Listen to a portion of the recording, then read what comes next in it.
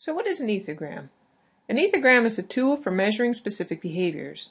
It allows a researcher to quickly and efficiently collect a whole inventory of behaviors using systematic rules. In order to create a reliable account of behavior, this skill requires practice, which is what you're going to be doing with this lab activity. Ethograms are used extensively in the study of ethology, the study of animal behavior, and they are usually done in an animal's natural environment. However, this technique is also used in animal welfare research to study the effects of animal captivity on behavior. There are two important components of an ethogram, the behavior itself and the time period. First of all, a behavior has to be defined using an operational definition. An operational definition allows behavior to be coded in a way that makes it easy for others to understand what is being measured. Let me start with an example. For instance, you might wonder if a particular dog is friendly, like this dog here.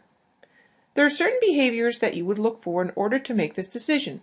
For instance, you might watch to see if the dog growls or if the dog barks. You could define these two behaviors like this. Growling, an animal makes a low-pitched, threatening, continuous sound from the throat, the mouth is not wide open.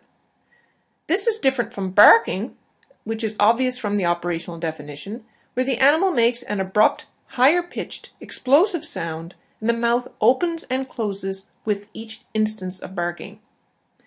Any other behaviors that you can think of can be included in this table so that many behaviors can be collected and displayed at once. Splitting up the observation period into time intervals is a handy and efficient way to keep track of changes in behavior.